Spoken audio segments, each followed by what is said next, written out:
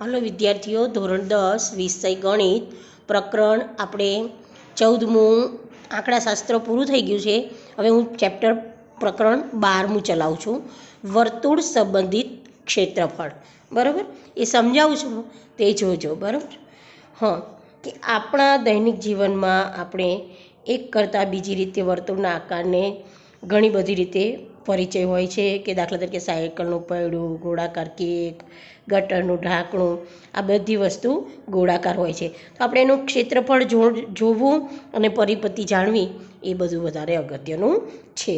બરાબર? તો વર્તુળની પરિમિતિ એ વર્તુળનો પરિઘ કહેવાય. બરાબર?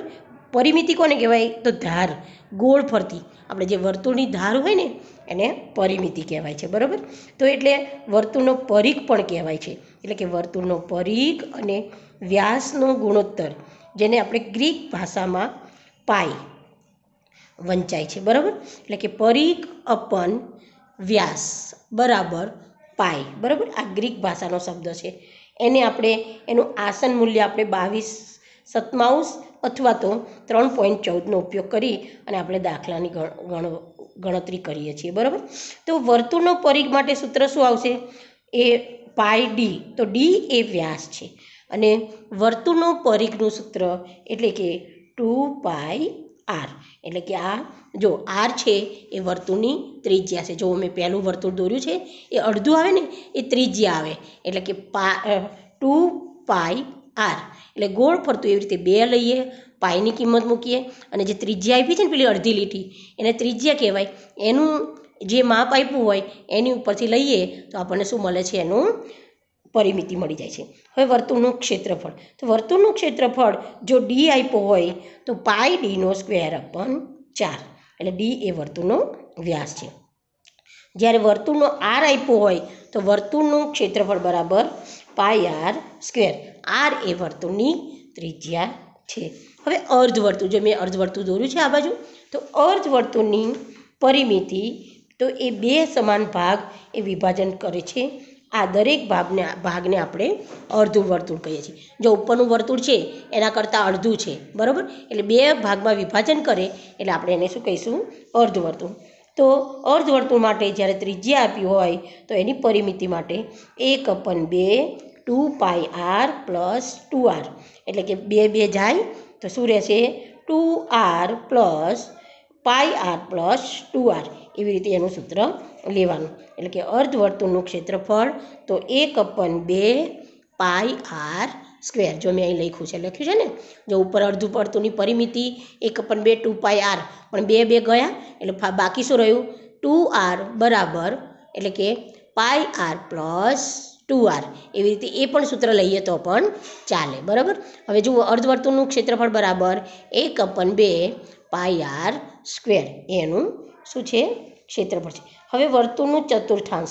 જો વર્તુળના બે પરસ્પર લંબ હોય, તેવા વ્યાસ દ્વારા વર્તુળનું ચાર સમાન ભાગમાં વિભાજન થતું હોય, તો એને આપણે એક ચતુર્થાંશ એટલે કે two pi R plus two R એટલે કે પાય આર અપન બે પ્લસ ટુ આર.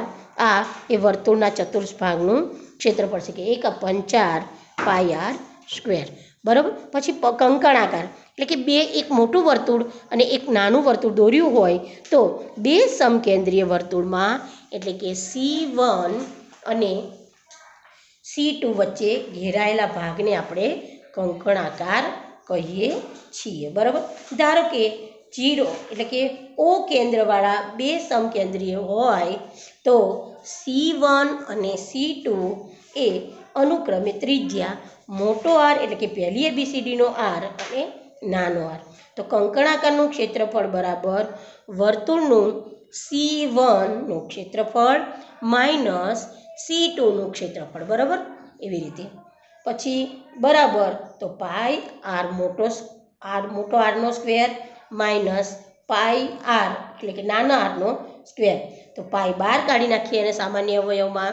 તો જુઓ, મોટો આરનો સ્ક્વેર માઇનસ નાના આરનો સ્ક્વેર. એટલે કે પાય કાઉન્સમાં આ રીતે પણ લખી શકાય. પાય કાઉન્સમાં મોટો આર પ્લસ નાનો આર. પછી બીજા કાઉન્સમાં મોટો આર માઇનસ નાનો આર. બરાબર? આર માઇનસ આર, એટલે કે મોટો આર માઇનસ નાનો આર હોય, એ કંકણા આકારના પહોળાઈની ક્ષેત્રફળ આપણે કેટલે કે શોધી શકીએ છીએ, બરાબર? એ એ આપણું ક્ષેત્રફળ કહેવાય. એટલે કે વર્તુળાકાર પૈડો એક પરિભ્રમણ કરે, તો એનું અંતર કેવી રીતે કાપે છે, કેટલું કાપે છે, ત્યારે ટુ પાઈ આર એ ત્રિજ્યા વડે કરી શકાય. છે. બરાબર? આટલું લખાયું છે. હવે હવે આટલું સમજજો અને પછી કાલથી દાખલાની શરૂઆત કરાવીશ ચલો, ઓકે?